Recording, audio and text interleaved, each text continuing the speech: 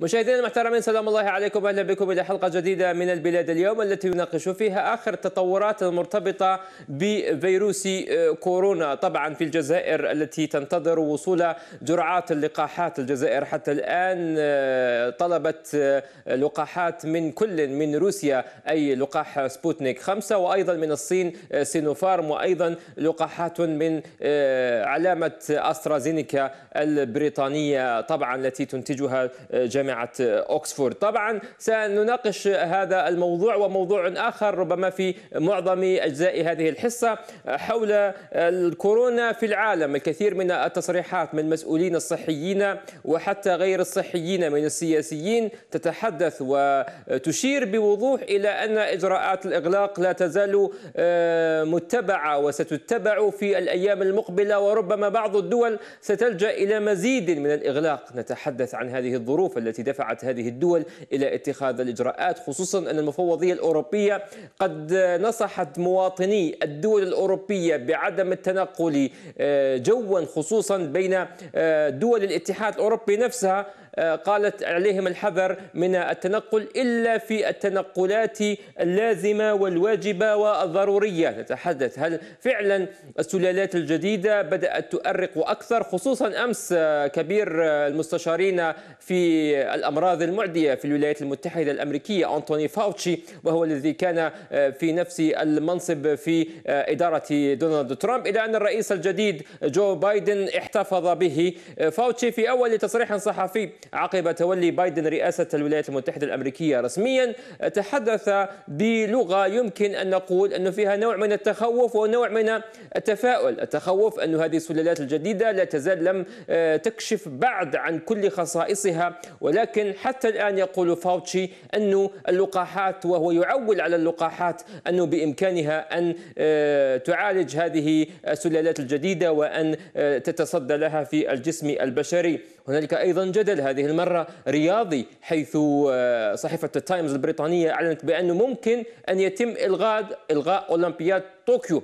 أولمبياد طوكيو كان من المفروض أن يكون في صيف عام 2020 أجل إلى غاية 2021 في الصيف المقبل حتى يتم احتواء أزمة كورونا. لكن يبدو أن الجدل لا يزال مستمرا رئيس وزراء الياباني نفى هذه الأخبار وقال أنه عنده أمل وعنده ثقة في اللقاحات حتى تتمكن من احتواء هذه الجائحة العالمية. وبالتالي يتم تنظيم هذا الأولمبياد على الشكل المطلوب. خصوصا أيضا نتحدث عن تقارير صينية هذه المرة تحدثت أن السلالات الجديدة من فيروس كورونا خصوصا في القارة الإفريقية نسبة الوفيات فيها أكثر من المعدل العالمي. نتحدث عن الأخطار ربما لهذه السلالات الجديدة ونقاط أخرى متعلقة بنظرية المؤامرة وسياسات التلقيح المتبعة في مختلف دول العالم مع الدكتورة ميس عبسي وهي باحثة في جامعة أكسفورد البريطانية التي تنضم إلينا مباشرة عبر سكايب من لندن في المملكة المتحدة. دكتورة ميس عبسي مساء الخير. مساء النور وشكرا للاستضافة، فقط تصحيح بسيط أنا أعمل بالكلية الملكية بلندن، King's College London. في الكلية الملكية؟ نعم نعم الكلية الملكية طبعا أهلا بك.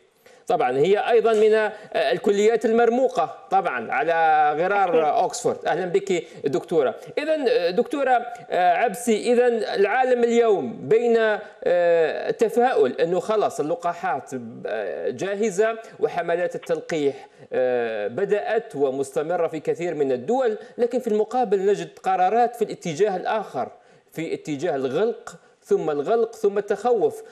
إجراءات مثلا مثل المراسيم التي وقع عليها بايدن فور وصوله إجراءات الوقاية من كورونا وإجراءات فرض الكمامة. صحيح.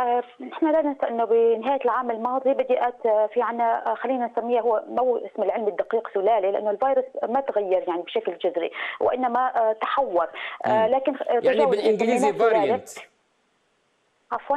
يعني بالإنجليزي فارينت يعني هو ليس سلالة صح نعم. صحيح صحيح. لكن إذا الناس عم تسميها سلالة خلينا نقول سلالة اللي هي ظهرت في بريطانيا بي 117 طبعا بتعرفوا إنه هي أكيد أسرع انتشار تقريبا 50 ل 60% من السلالة السابقة. وظهرت أيضا في عدة دول وحاليا عم تنتشر كثير بأمريكا. هلأ في من ناحية الخطورة عم تسبب أيضا إصابات بنسبة أكبر مثل ما آخر الإحصائيات في الأعمار ما بين 18 و 25 بالمقارنة مع السلاله السابقة. أيضا بالنسبة للأشخاص اللي فوق العمر 65 تقريبا بنسبة الضعف بالمقارنة مع السلاله السابقة. في احتمال لكن هلأ غير مؤكد إنه ممكن تؤدي إلى وفيات أعلى لأنه لا ننسى لما بيكون في عندنا انتشار أو كمية الفيروس اللي عم تنطرح من الشخص كميته كبيرة آه، بالجهاز التنفسي العلوي ف آه، وبينتقل بشكل أسرع بين الأشخاص. ففي احتمال إنه يكون في عندنا إصابات أكثر وممكن يكون في عندنا إنه إصابات أكثر بالمشافي وبالتالي إنه الوفيات أعلى. هلأ آه، هون لازم ننتبه إنه في عندنا ثلاث أشياء أساسية حاليا من هالأشكال آه، شوي آه، لازم ننتبه من ناحيتهم. الأولى هي البريطانية وهي بالدراسة من أسبوع نشرتها انتبه النشره إنه جربوا تأثير أو فعالية اللقاح عليها. فاللقاح بالنسبة للقاح فايزر بالتحديد هو فعال ضد ضد هذه خلينا نسميها السلالة. لأنه نحن لما بيتغير بصير في تغير بالفيروس مباشرة بنسال عدة أسئلة. يا ترى إن الفيروس هل هو مميت أكثر؟ هل هو بيسبب إصابات بشكل أشد. هل هو غير فعال اللقاح ضده؟ هل هو بيهرب من جهاز المناعة؟ يعني جهاز المناعة ما بيقدر يتصدى له.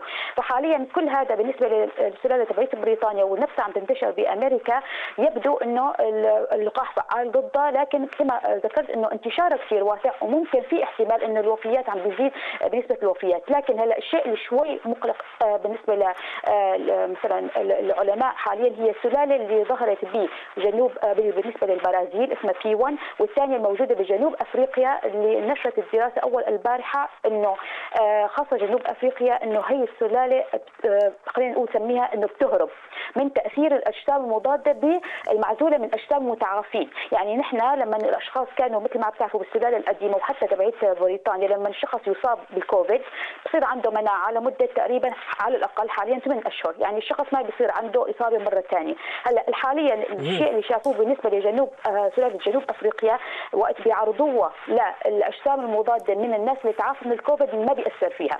وبنفس الوقت طبعا لأنه في دراسة صينية نشرت أمس دكتورة ميس عبسي تتحدث إنه نسبة الوفيات في القارة الإفريقية أعلى من المعدل العالمي وربطت هذه الدراسة الصينية هذا آه، هذه نسبة الوفيات بالسلالة التي تنتشر في هذه الدول الإفريقية. صحيح.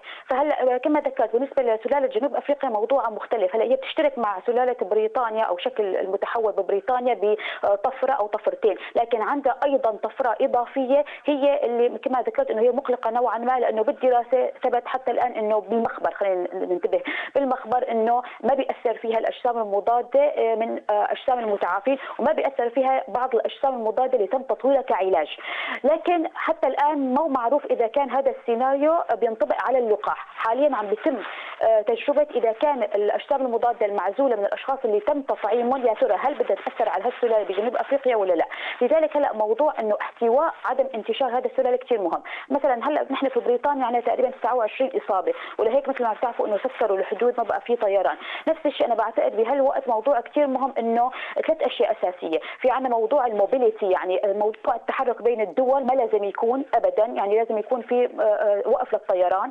الشيء الثاني في عندنا موضوع ال vaccination. لازم يكون موضوع التطعيم بشكل أسرع و آه، سنتحدث حول التطعيم إن شاء الله في الجزء الثاني دكتورة آه، عبسي لكن الآن ربما نربط هذه السلالات الجديدة بتطورات انتشار هذا الفيروس خصوصا أنه بالنسبة لمن تعرضوا للإصابة بالفيروس في فترة سابقة ثم الآن آه، إصابة ثانية.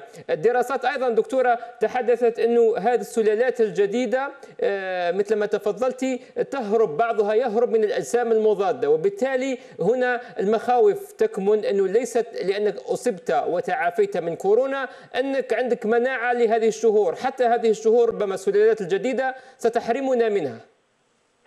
لا هلا بالنسبة خلينا نحكي يعني واحدة واحدة. بالنسبة لبريطانيا بالدراسه ما في حتى الآن دليل على إصابات إنه إصابة مرة ثانية. يعني هذا نسبة جدا جدا ضئيلة.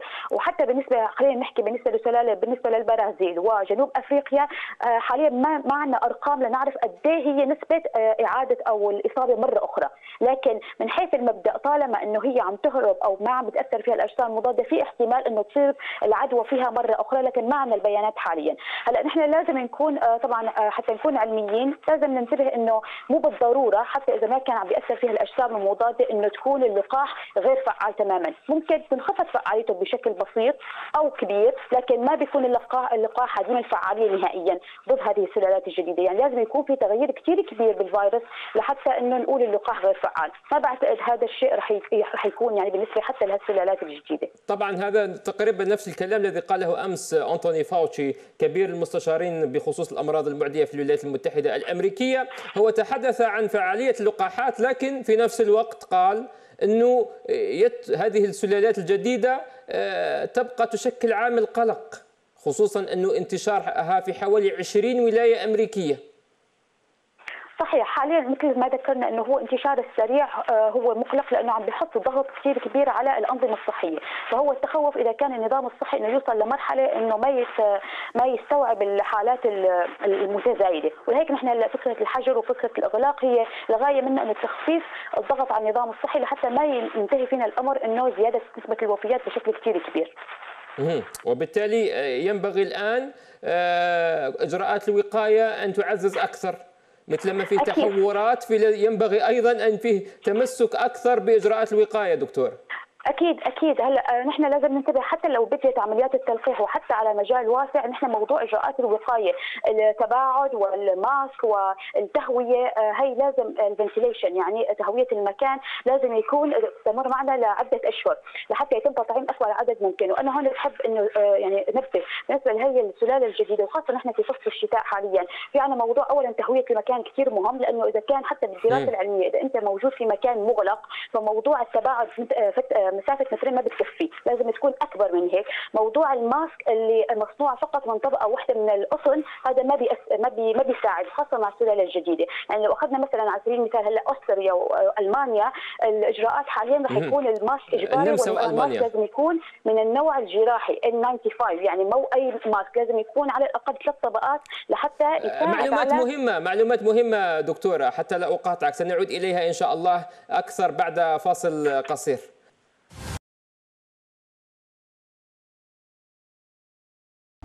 عدنا مجددا مشاهدينا الكرام البلاد اليوم مستمرة معكم لهذه الأمسية. طبعا موضوعنا حول كورونا والتطورات المرتبطة حولها من لقاحات ومن سلالات جديدة وأيضا عما تفرضه من إجراءات وقائية في هذه المرحلة. طبعا أسعد بأن أعيد الترحيب بالدكتورة ميس عبسي الباحثة في الكلية الملكية في بريطانيا. أهلا بك سيدتي مرة أخرى. مرحبا. أهلا. كنت تتحدثين دكتورة حول نقاط مهمة جدا حول إجراءات الوقاية مثل ما الكورونا هي متطورة ومتحورة وعندها ابديت يعني في كل مرحلة. حتى نحن أيضا لازمنا تحيين لإجراءات الوقاية. يا ريتك يعني لو تعيد لنا هذه الإجراءات وكيف نعززها في الفترة هذه.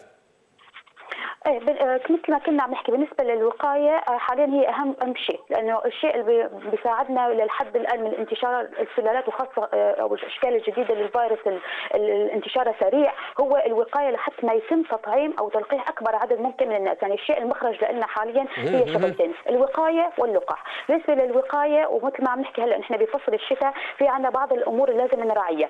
أول شيء إنه موضوع ال mask على الوجه ال mask لازم ننتبه لنوعية نوعية ال mask يعني ال mask اللي هو مع مصنوع من قماش عادي ما بيمشي الحال لازم يكون على على الأقل مصنوع من طبق طبقتين من القطن إذا كان صناعة يدوية. وحتى هلأ حاليا بالنسبة للسلالات اللي عم تنتشر كثير بسرعة كما ذكرت إنه بالنسبة لبعض الدول عم بتشوف إنه هذا الشيء حتى مو كافي. لازم يكون ثلاث طبقات من القطن أو يكون مثلا mask جراحي أو الأفضل يكون ال mask اللي هو بنسميه N95 وخاصة إذا كان في مكان ما ممكن نحن نحافظ فيه على التباعد الاجتماعي. أيضا بموضوع نحن هلأ بالشتاء بالأماكن المغلقة لازم نراعي موضوع التهوية كثير مهم.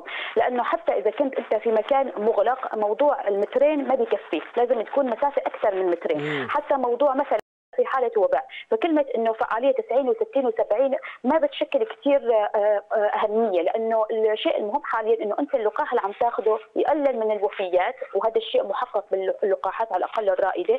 وبنفس الوقت إنه يجعل المرض أعراضه خفيفة. وهذا الشيء محقق بجميع اللقاحات اللي وصلت المرحله السريرية الثالثة.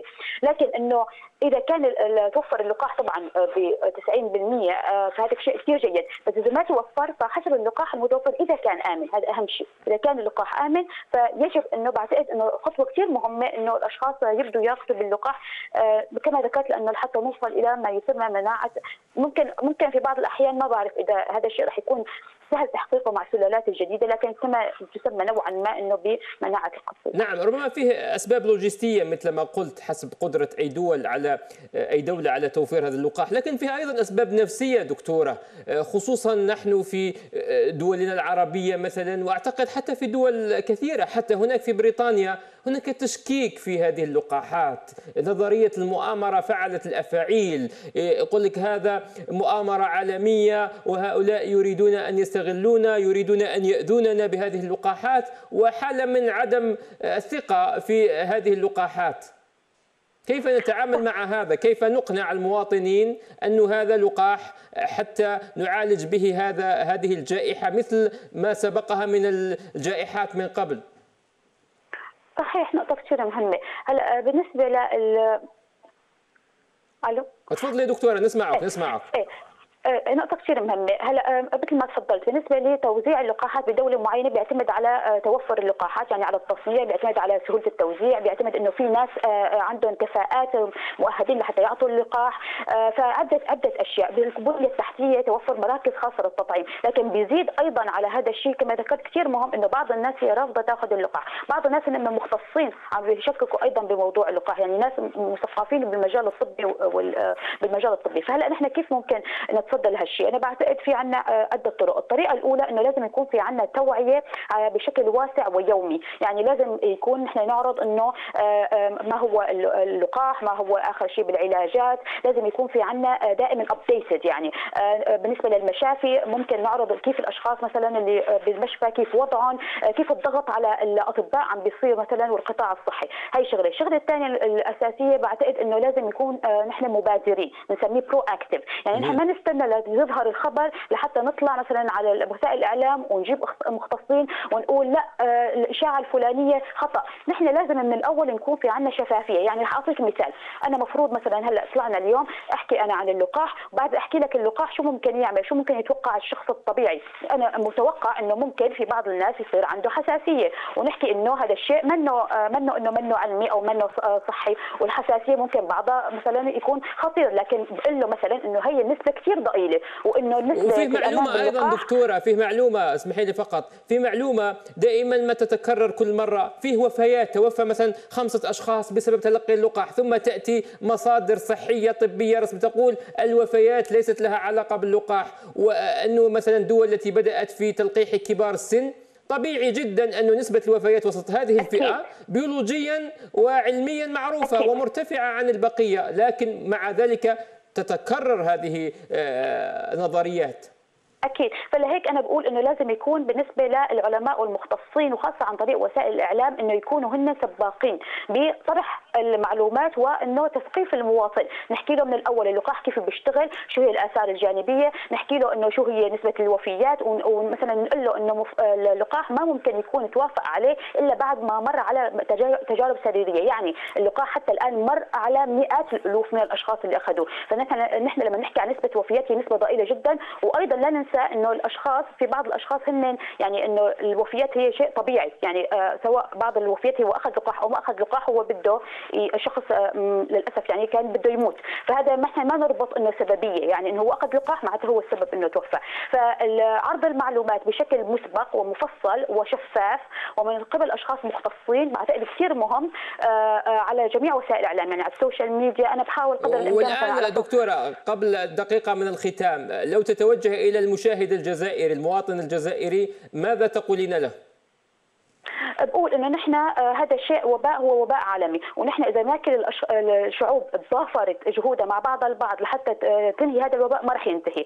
وهذا الشيء بيكون إنه مثل ما ذكرت أول شيء التقيد بموضوع إجراءات الوقاية والتباعد حتى يتم موضوع التطعيم. وأيضا موضوع اللقاح لازم نعرف إنه اللقاح هو أحد الوسائل المهمة كثير اللي هي مثل مثل العلاج. حتى موضوع إنه اللقاح يكون آمن وفعال ما وصل لهذه المرحلة إلا بعد ما مر على تجارب كثير كبيرة. والأمام موضوع الامان في اللقاحات هو يعني ما ما فيه أي تهاون. حتى المعايير بتكون أشد بكثير من معايير الموافقة على الأدوية. فاللقاح لا شك هو أحد الأشياء اللي راح تساعدنا نحن كوسيله للخروج من من هذا الوباء والعودة إلى الحياة الطبيعية. إن شاء الله إن شاء الله إن شاء الله الجميع يعود إلى حال إلى الحالة الطبيعية والحياة الطبيعية. وحتى أنتم يعني كباحثين وكأطباء تعودون أيضا إلى حياتكم الطبيعية بعد فترة مرهقة. أشكرك جزيل الشكر الدكتوره ميس عبسي الباحثة في الكلية الملكية. شكرا جزيل الشكر سيدتي على هذه الشروحات وهذه الإفادات. شكرا. كما أشكركم مشاهدينا على كرم المتابعة في حلقة اليوم من البلاد اليوم. ألقاكم بخير. سلام الله عليكم.